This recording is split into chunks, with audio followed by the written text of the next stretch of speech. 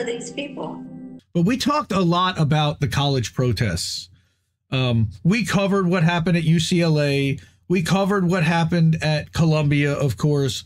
Right. We covered what happened at Indiana. Remember when they had the snipers on the roof at Indiana University? Yes. So crazy. All right. Um, but so this guy, Stephen Semler, he's got a Substack called Polygraph, and I found it through one of the aggregator like Polygraph. sites. Polygraph is great. Yep. So I came across it too. Stephen bring brings the numbers, and he's looking at well, what percentage of the college protests, the campus protests, were peaceful? Now there are some caveats and some stars here, and I, I read this, um, read through this to make sure. You know, what is he talking about with his numbers? And it's actually a little bit man, skewed, but you'll you'll you'll understand what I'm talking about. So you know, uh, if you can support independent media, he's also an independent researcher. Uh, he got attacked Uh, his name got in a New York New York Times article talking about the pier, which isn't working, which is really cool. And he wrote that in in a responsible statecraft essay. But he writes up like, what's the situation here that both Jill and Joe Biden say that these campus protesters are violent, but his numbers show that more than 98% of the Gaza protests at U.S. colleges and universities have been peaceful. I, I don't think that's I believe that, it. I don't think that's much of a surprise. Oh yeah, by the way, most of the ones that weren't peaceful were because of police or pro-Israel counter protesters.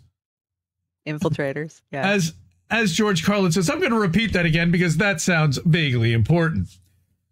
Most of the ones that weren't peaceful were because of police or pro-Israel counter protesters. Stephen looked at 1,205 U.S. campus protests between October 7th and May 24th.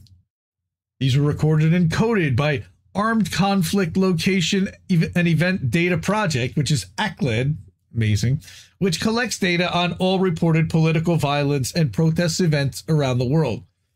That's a cool organization, but of course, it, I think it's got its biases. Um, and of course, the, sure. now the Guardian, we fuck the Guardian for selling out Julian Assange, free Julian Assange. The and Glenn Greenwald. And Glenn, yeah, and and he sold. They sold out Glenn too. Yep. Uh, yep. Guardian featured ACLED's data last month to show that 97% of the campus demonstrations from April 18th to May 3rd, just over a two week period, were peaceful.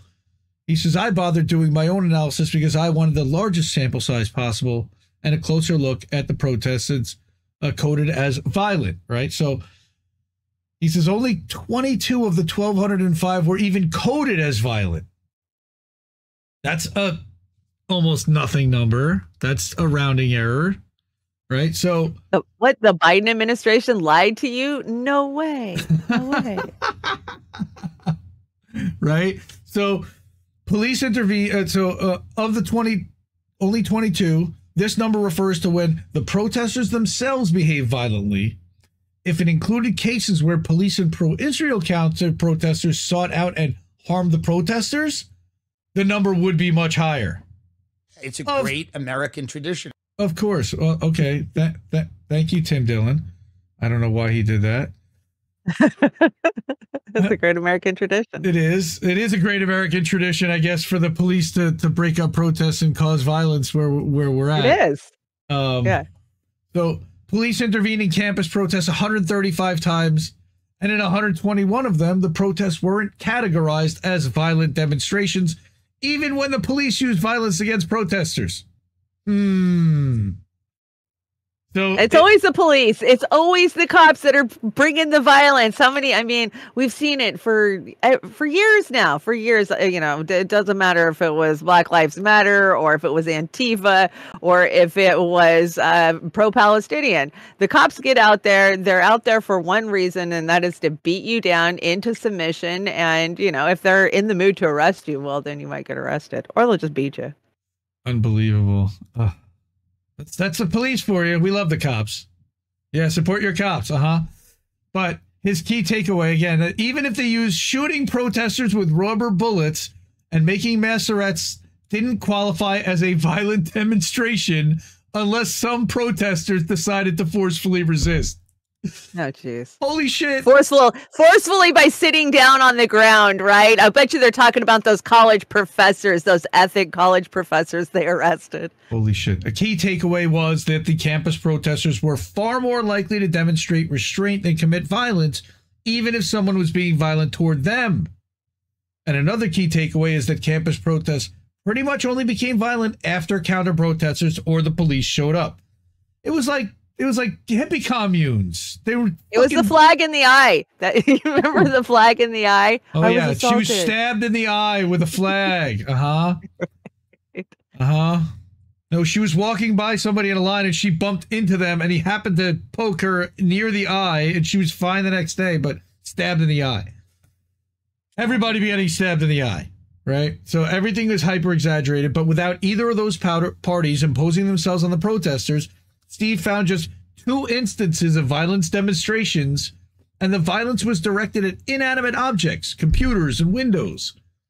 In one of those cases, very famously, P- police later arrived and inflicted far more harm on the students than the students did to the windows.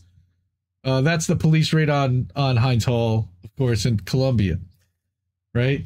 And then, right, and then we've got uh, that in most of the other twenty cases, the violence from protesters appeared to be either in self defense or vastly outweighed by the violence directed at them. But that doesn't get written up. Granted, this is based on his reading ACLED's description of each incident, which are only a paragraph or two long, but here are a couple of examples of what I'm talking about. Right? This is these are amazing paragraphs. April 20th, 30th uh, April 2024. Pro Palestinian demonstrators continued their encampment at Dickson Plaza at UC- UCLA.